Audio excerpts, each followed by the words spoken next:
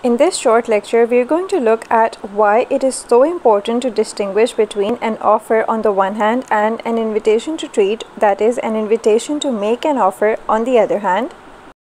So if you recall, we've already looked at this example where a product is displayed in a shop window and I did explain already that if I were to ask you whether or not the shopkeeper is going to be bound to sell that product to anyone who gives the amount that is stated on the price tag and we have also already looked at the fact that the answer is a big no. Why? Because this does not amount to an offer.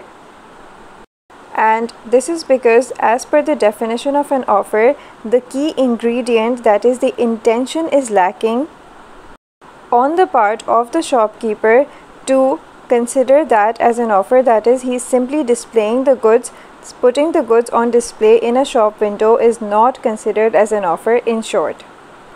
Instead a display of goods simply counts as an invitation to treat that is an invitation to the customers to make an offer to the shopkeeper so that the shopkeeper can then either accept or refuse to sell the product to them now as promised in earlier videos, we are now going to look at the reason behind this distinction. That is why it is so important to differentiate between these two concepts.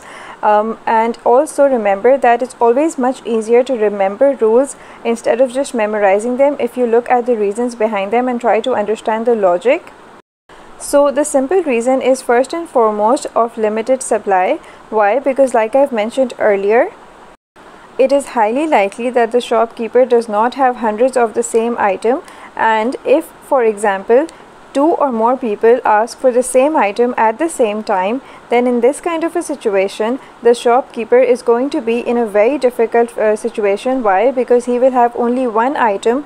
And that one item if we consider the display of that item as an offer then the shopkeeper has to be bound by the fact that anyone who presents the relevant amount of money to him, he has to sell that product to that person right away and obviously he can't do so if he has only one of those items and two or more people are asking for that same item at the same time. So to avoid these kinds of situations that is where there is obviously probably a limited supply we have considered the law basically has decided to create this distinction that display of goods is always going to be considered as an invitation to treat and not as an offer to sell those products which can simply be accepted by any customer throwing that amount of money in the face of the shopkeeper.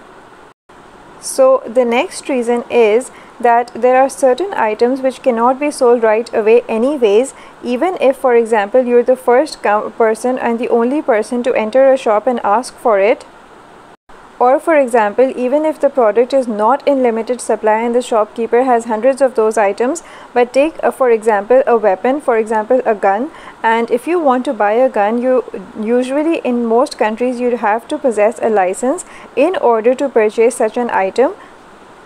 And once again, imagine that if the law had considered any display of goods as an offer that is capable of being accepted simply by the other person presenting that amount of money, then once again, how is the shopkeeper going to be able to refuse to sell the product to anyone who presents that amount of money?